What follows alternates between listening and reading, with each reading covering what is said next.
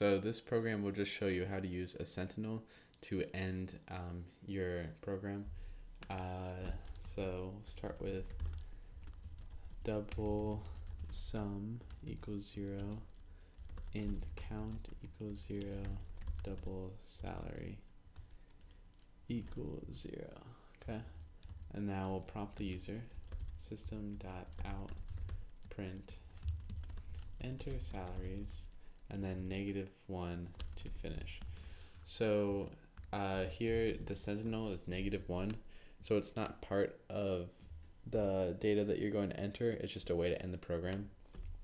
So we'll do a loop here, and this will process the data until the, you enter the user ent enters the sentinel.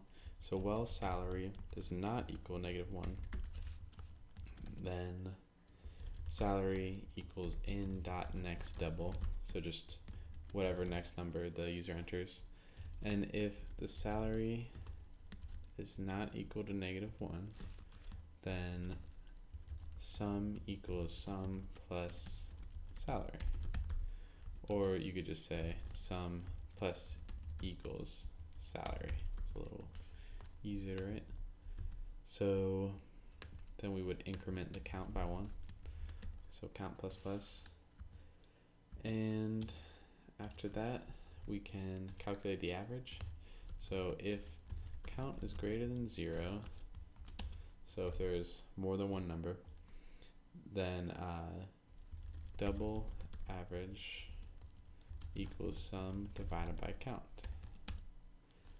And just we can output that print line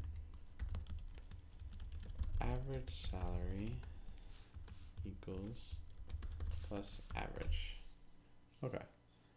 So let's go ahead and run this. All right, 10, 20, 30. And then I'll do negative one to end it. Great, so yeah, looks like it worked. Um, the average salary is 20 and I used the Sentinel negative one to end the program. So great.